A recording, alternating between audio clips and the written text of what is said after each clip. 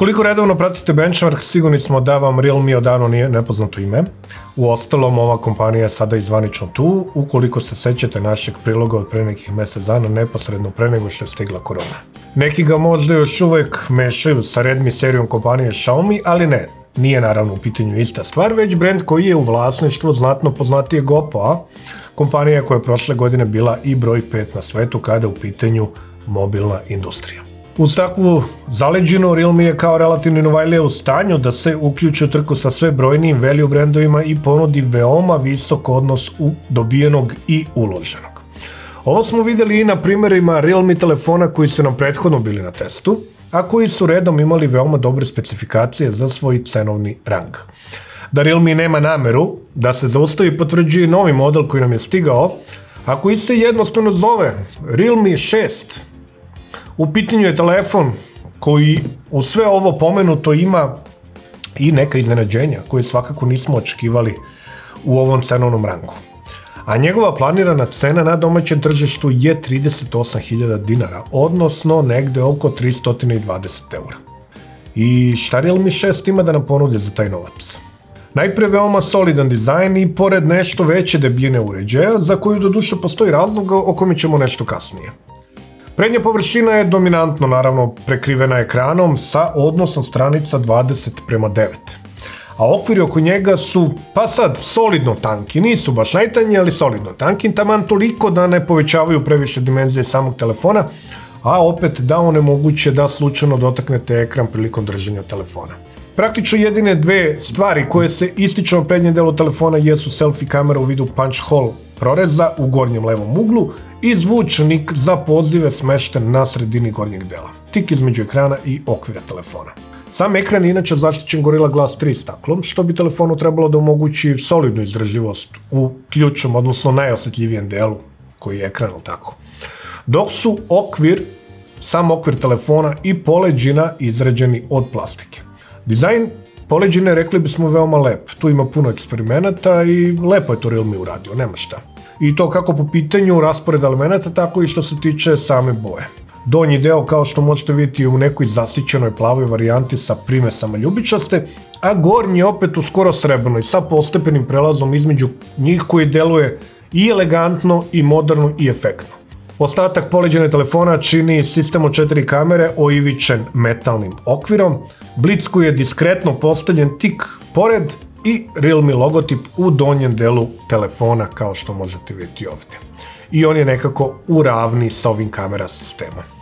Same kamere su blago izdignute u odnosu na ostatak površine telefona, a pomenuti okvir je još neki delić milimetra iznad stakla kako bi sprečio njegovo grebanje prilikom postavljanja telefona na neku ravnu površinu. Čitač otiska prsta je izmešten kako ne bi remetio ovako čist dizajn i smešten je u taster za buđenje telefona koji je ujedno i jedini element na desnoj strani okvira, pošto je klackalica za zvuk sa leve strane. A kad smo već kod ovog power tastera i čitača otiska prstiju, pomenut ćemo da radi veoma brzo i pouzdano i dovoljno je da samo naslonite prst. Ne morate ni da pritiskate ništa naravno. Pa nam se nekako čini da je ovo rješenje i dalje superiorno u odnosu na čitače integrisane u sam ekran. Pored toga tu je naravno i prepoznavanje lica koje također radi vrlo pristojno, ali bez naprednih funkcija kao što su infrared senzor za prepoznavanje u mraku ili senzor dubine. Na levoj strani telefona rekoh već klackalica za zvuk, odnosno poveći slot u koji staju dve nano SIM kartice i micro SD bez potrebe da birate jedno ili drugo, znači i dve nano SIM kartice i mikro memoriska. Gornja strana telefona okvira je potpuno prazna, nema ničega, a na donjoj tu su USB Type-C port, otvor za zvučnik i dva mikrofona, odnosno 3,5 mm konektor za slušalice. Vredi pomenuti svakako da se u pakovanju ovog telefona dobija i zaštitna silikonska maska koja je prilično tesno skrojena i štiti kako telo tako i ekran telefona obzirom da se prostire blago iznad okvira samog telefona. Također bukvalno je još koji deo milimetra iznad okvira kamere, pa i u tom pogledu sprečava bilo kakav kontakt telefona sa stolom, kako god ga spustili. U pakovanju su tu još i USB kabel, kao i brzi punjač od 30 W, vrlo lepo. Što se tiče ekrana, dijagonala 6,5 inča i očekivano IPS tip ekrana. Rezolucija 1080 x 2400 piksela što je više nego dovoljno za ovu dijagonalu, a prvo veliko iznenađenje je da je osvežavanje ekrana od 90 Hz.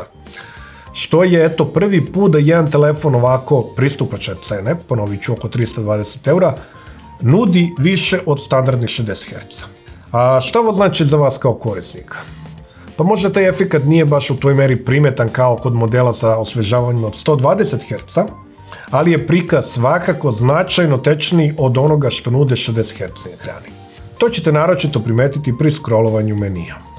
Uz to u podešavanjima je moguće uključiti Vision Effect, što je posebno korisna opcija kada gledate neki video, jer radi poput procesiranja slike, odnosno frame interpolacije na televizorima sa visokim osvežavanjem pa pruža glatki i jasniji prikaz.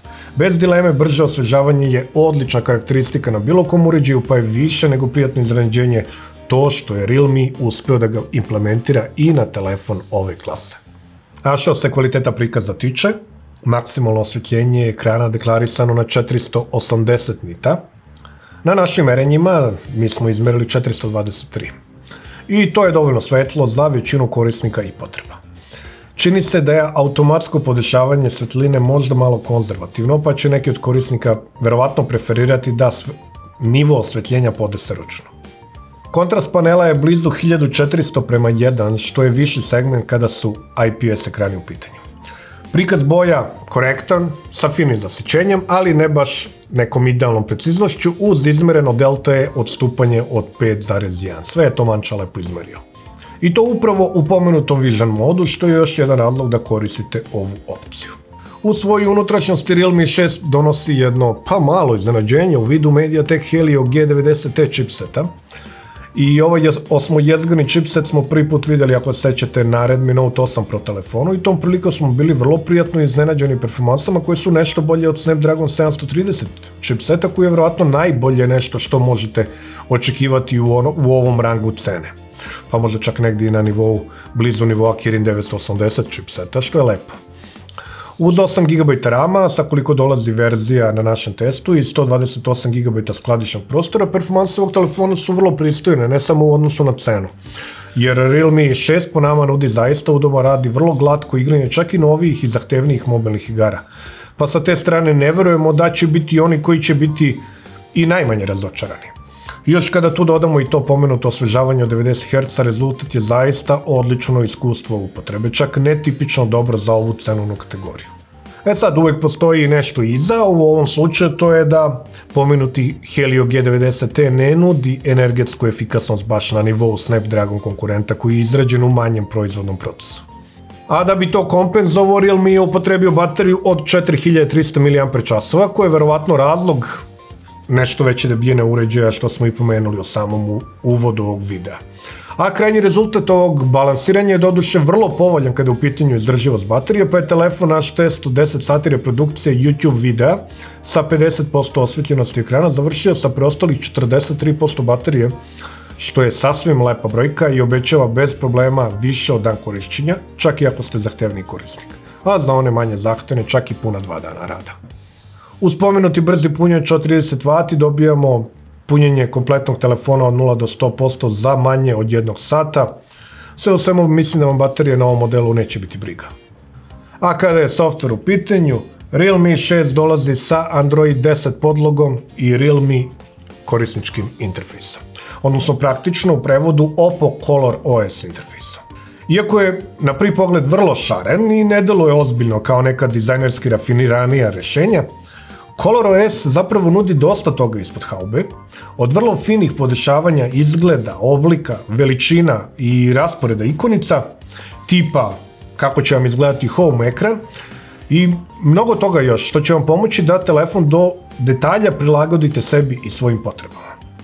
A pored same šminke tu su i neki detalji koji će vam olakšati upotrebu poput Assistive Ball polja koji će vam olakšati korišćenje jednom rukom, zatim smart sidebara i raznih gestova, sve sa vrlo detaljnim podešavanjem. A što se aplikacije na ovom telefonu tiče, nema nekih velikih iznenađenja. Pored standardnog i očekivanog, tu su čak i Yandex, društvena mreža i browser. Znači, gađa se Rusija s ovim telefonom. A čak i Opera i Chrome, dakle, brauzera imate na pretek.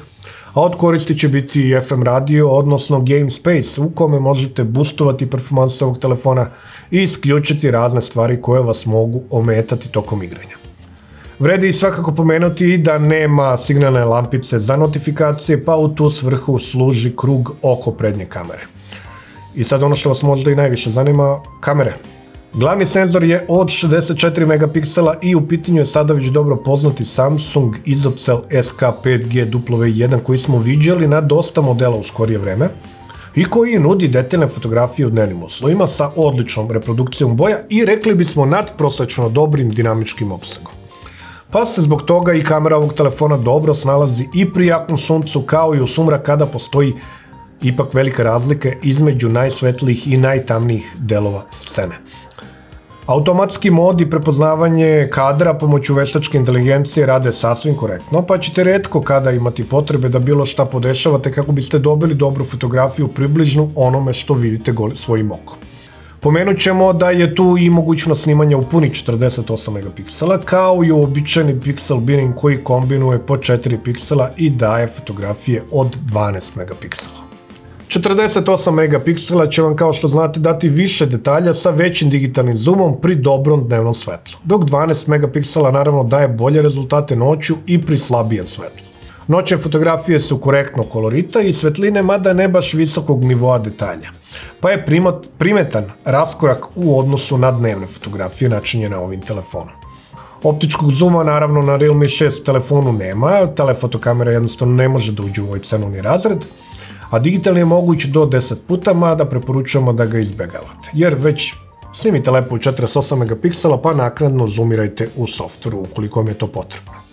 A pored glavne kamere tu su i još tri, 8 megapiksela ultra wide, 2 megapiksela makro i 2 megapiksela senzor dubine. Ultra široki senzor će vam omogućiti praktično duplo širi ugao fotografisanja, ali njen kvalitet nije na nivou glavne i to odmah moramo da istaknemo, uz primetno manje detalja i uži dinamički opseg. Što uz neko AI procesiranje samo još više dolazi do izražaja. Ali opet i pored toga ova kamera je vrlo upotrebljiva pri dobrom i nešto slabijem svetlu, dok je noću primeta manjeg detalja iako je kolorit vrlo korektan. Makro kamera, poput većine modela koji je posjeduju, može da posluži, ali za dobre rezultate zahteva prilično svetla. U suprotnom, do izražaja će doći visok nivo šuma. A što se videa tiče, podržano je snimanje u 4K sa 30 frame u sekundi ili 1080p sa do 120 frame Kvalitet korektan danju uz žiroskopski asistiranu elektronsku stabilizaciju koja ima uticaja, mada nije baš najbolja koju smo vidjeli. Snimanje noću nije jača strana ovih senzora, pa je nivo šuma ipak prevelik. Što snimke u takvim uslovima čini upotrebljivim samo na malom ekranu telefona ili za društvene mreže uz neki baš previše impresivan kvalitet. A kada je u pitanju selfie kamera, opet je tu Samsung ISOCELL senzor od 16 megapiksela koji daje fotografije koje nisu naročito oštre i detaljne, ali su korektno kolorita i kontrasta. Primetili smo do duše da se ne snalazi najbolje ukoliko iza subjekta jako svetlo, što i inače treba izbjegavati, jel da? Pa o tome treba povesti računa ukoliko želite dobar selfie. Ili kvalitetan video razgovor u 1080p koliko je to podržano ovom kamerom. Sve u svemu, za svoju cenu rekli smo oko 320 eura Realme zaista nudi dosta toga. U prvom redu odlične performanse i ekran sa osvežavanjem od 90 Hz i to nećete dobiti od drugih modela u ovoj cenovnoj klasi. A to će se naročito dopasti mlađoj populaciji. A kada svemu tome dodamo i vrlo lep izgled telefona i sistem sa četiri kamere koji daju više nego korektne rezultate za ovu klasu, verujemo da će Realme 6 biti vrlo zanimljiv izbor tokom čitave godine.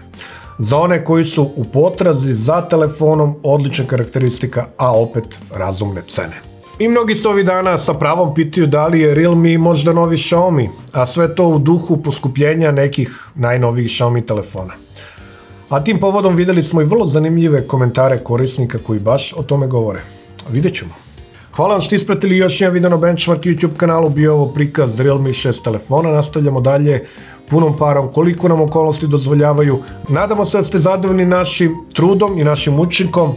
Tokom ovih teških vremena trudimo se da ne ostanete oštećeni za sve ono do čega Benchmark redakcija u ovim trenucima može da dođe.